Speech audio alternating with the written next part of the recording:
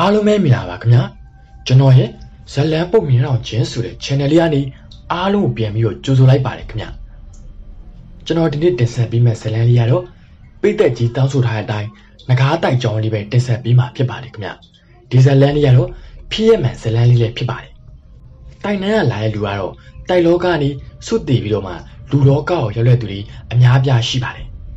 အချိန်နဲ့ရောက်တဲ့အခါမှာ အိမ်အောင်ပြုရရသူများရှိသလိုမရတဲ့သူများလည်းရှိကြပါတယ်။တိုက်ဆက်တိုင်းကတော့အိမ်အောင်ပြုရမရဘူးဆိုတာတော့မဟုတ်ပါဘူး။တချို့တိုက်ဆက်တွေကတော့အိမ်အောင်ပြုတဲ့အခါဒုက္ခမျိုးမျိုးရောက်ပြီးတော့တေခွဲရှင်ခွဲနဲ့စိတ်တော့ကတွေရောက်သူများရှိကြသလိုပဲတချို့ကလည်းအိမ်အောင်ကြာပြီးတဲ့အခါမှာတော့ချင်းရန်တတာနဲ့နေထိုင်နေကြတဲ့သူလည်းရှိကြပါတယ်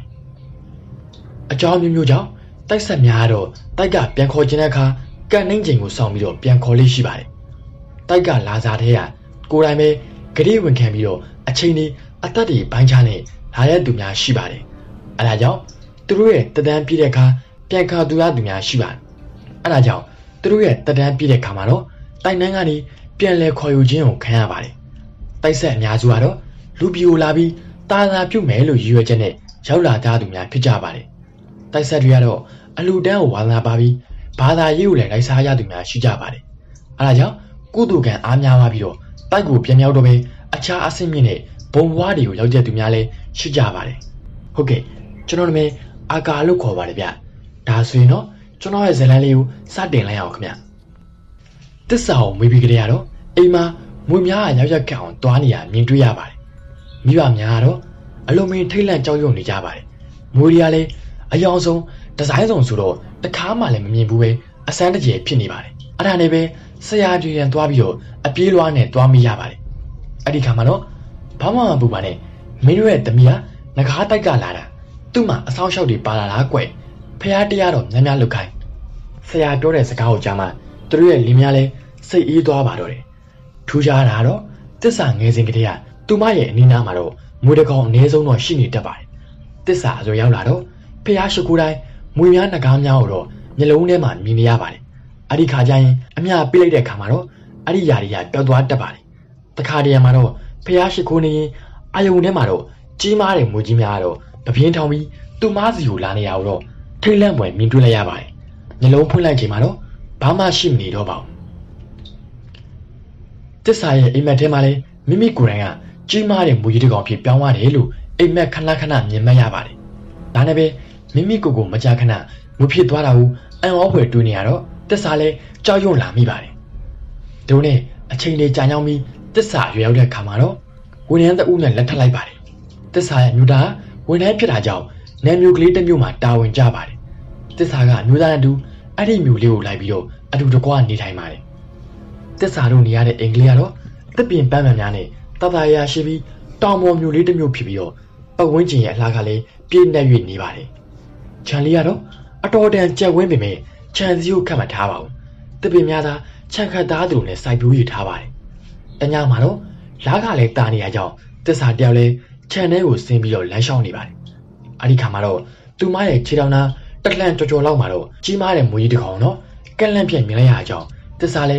ငယ်တန်းပေါင်းអော်လိုက်ပါတယ်။အဲဒီခါမှာတော့ငွေကြီးလဲမျက်စိအောက်ကနေချက်ချင်းပျောက်ကွယ်ရေးသွားပါတယ်။တိုက်ကလာတာဆိုပေမဲ့တစ္ဆာကတော့ငွေကိုအသေးကြောက်ပါတယ်။ တစ္ဆာကြောင်မှန်းတီးတဲ့ခါမှာတော့နောက်နောင်ဒီမှာရှေ့မှမမြင်ရဘဲနဲ့အနောက်ဘက်မှာတော့မွေးတစ်ကောင်အမြဲတမ်းပါလာတက်ပြီးတစ္ဆာကိုတော့စောင့်ရှောက်တတ်ပါတယ်တစ္ဆာနောက်မှာရှိတဲ့လူတွေကတော့တစ္ဆာရဲ့နောက်မှာပါလာတဲ့မွေကိုတွေ့တဲ့အခါပြရရတဲ့အဖြစ်များလဲမကြာခဏဖြစ်တတ်ပါတယ်အဲ့လိုထူးခြားထိတ်လန့်ပွဲများကြပြီးတစ္ဆာတို့စီမှာတော့တမီးကလေးတယောက်ဖွားမြင်ရလာပါတယ်သူတို့နဲ့တမီးကလေးကြောင်းနေတဲ့ရောက်တဲ့ခါမှာတစ္ဆာဘွားမှာတော့ထူးခြားမှုများကစတင်ပြီးတော့ကြုံလာရပါတယ် တညနေနေဝီတီတော်ချိန်မှာတော့ခြံရှိကနေထိုးဆန်းတဲ့အော်ခေါ်တန်ကိုကြားလိုက်ရပါတယ်အတန်ကတော့တစ္ဆာတစ္ဆာဆိုပြီးတော့သူ့ရဲ့နာမည်ကိုအော်ခေါ်နေရဖြစ်ပါတယ်အဲ့ဒီခေါ်တန်ကိုသူ့မနားထဲမှာကျဲလောင်စွာမြည်သွားပြီးတကိုယ်လုံးကလည်းအချောကျင်များကကျဉ်တက်သွားပါတယ်သူမလည်းအပြေးလွှားနဲ့ခေါ်တန်ချီအောင်ထွက်ကြည့်လိုက်တဲ့အခါမှာတော့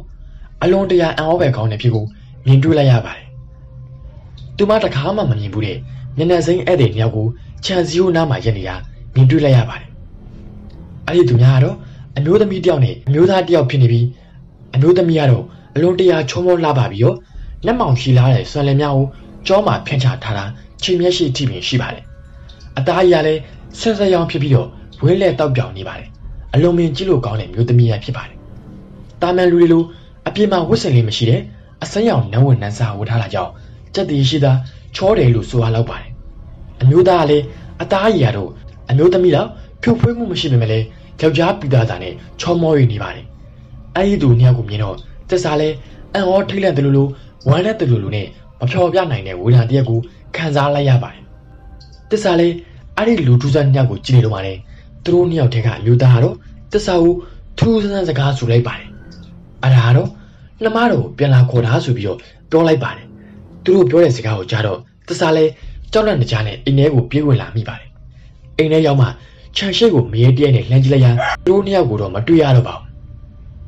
အဲ့ဒီအဖြစ်ကတော့သူမအတွက်မယုံနိုင်အောင်အဖြစ်ပြက်တစ်ခုပဲဖြစ်ပါတယ်ဒါနဲ့သူလည်းတာမန်လို့မထင်မှတ်ပဲနဲ့သူမယောက်ျားကိုအဲ့ဒီအကြောင်းကိုအကုန်လုံးပြန်ပြောပြပါတယ်ဒါပေမဲ့သူမယောက်ျားကတော့တိတ်ပြီးတော့မယုံကြည်လာပါဘူး